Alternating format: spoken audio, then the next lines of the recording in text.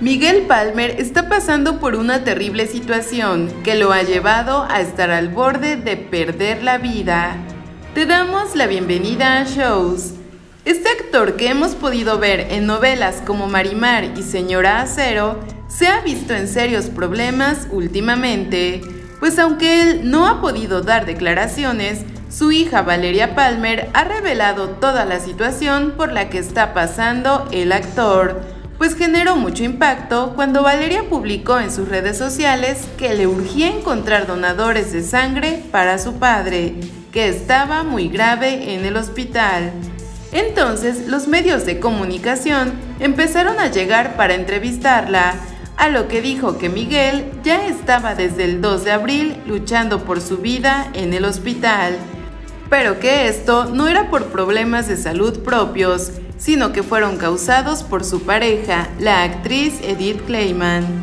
Una amistad muy cercana al actor dijo que Miguel llegó en muy mal estado, pues no podía hablar ni caminar, con mucha deshidratación, una oxigenación baja, anemia, bacterias en la sangre, problemas en el corazón y que cada vez le estaban encontrando más padecimientos.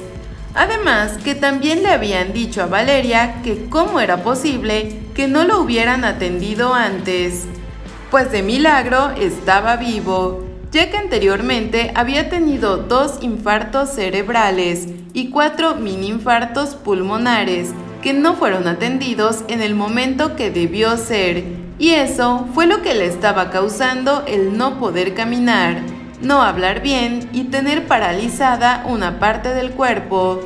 Al preguntarle por qué no había llevado antes a Miguel con un doctor, él dijo que tenía cinco años viviendo con Edith y que desde ese momento perdió comunicación con todas sus amistades y familia, ya que ella no dejaba que nadie fuera a verlo. Según se dijo, Valeria había estado en contacto con él solo por teléfono y así fue hasta octubre del 2020, pues a partir de Navidad ella ya no supo nada de él, ya que Edith también le empezó a controlar las llamadas y siempre ponía pretextos para no pasarle a su papá, y que incluso mandó a cambiar las chapas de la casa, ya que Valeria tenía las llaves anteriores.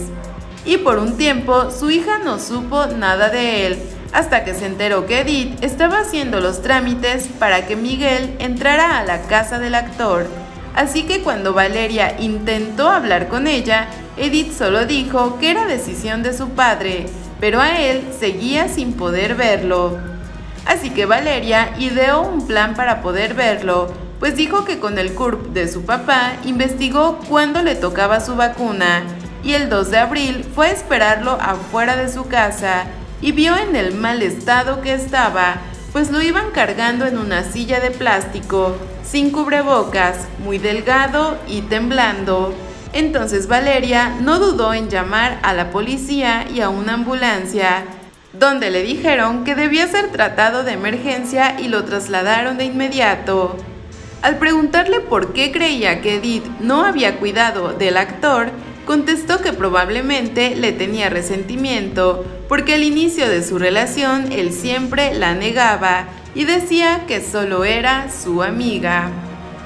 Ante toda esta grave situación, Valeria interpuso una demanda contra Edith por omisión de auxilio y cuidados hacia su padre, además de una orden de restricción para que no lo pueda ver ni siquiera en el hospital donde por cierto se ha dicho que ella no se despega ni un momento. ¿Y tú crees que realmente Edith le tenga resentimiento porque la negaba al principio de su relación? ¿Crees que todo sea por dinero? ¿Te suena conocida la historia de que los alejan de su familia, los tienen incomunicados y los enferman para quedarse con todos sus bienes? Déjanos tus comentarios en la parte de abajo y recuerda que te dejamos otras sugerencias para que te enteres de todos los shows que hacen los famosos. Hasta la próxima.